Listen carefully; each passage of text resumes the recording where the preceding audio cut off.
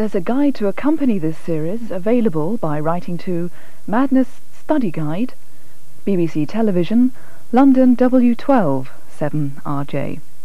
Your cheques for £2.50 should be made payable to BBC Television.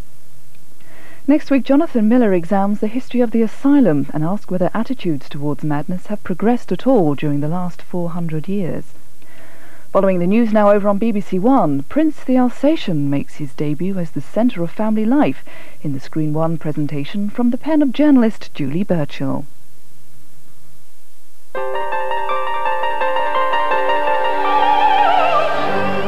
The mystery train will be arriving at this station very, very shortly, so stand by to grab a little hot rod action. Rock and roll, cartoons zombies,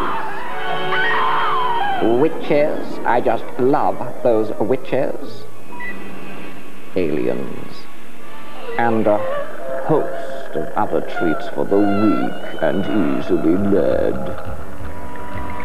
Mind the doors. Richard O'Brien takes you aboard the Mystery Train Friday at 11.15 on 2. Our late film this evening is the classic Hitchcock psychological thriller Spellbound, starring Ingrid Bergman and Gregory Peck. The chills begin at 11.20.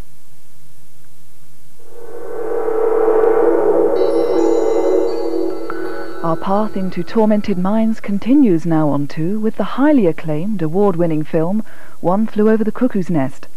It's a powerful and disturbing portrayal of life within the harsh realities of a mental institution. Jack Nicholson stars as the wayward inmate determined to hold on to spirit and individuality. The language used is uncompromising and explicit.